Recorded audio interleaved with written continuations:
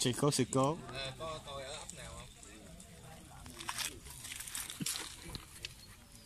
nãy giờ mình ờ, trả về sao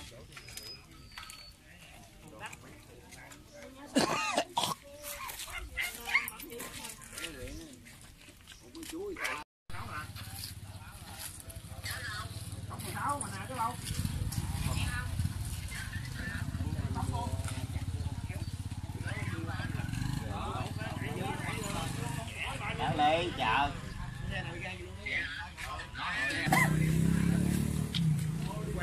Hai lầu coi luôn á, lầu thấy mặt luôn. còn trẻ hả Nè, còn trẻ hai mấy tuổi nhiêu? Năm tám, tuổi gì?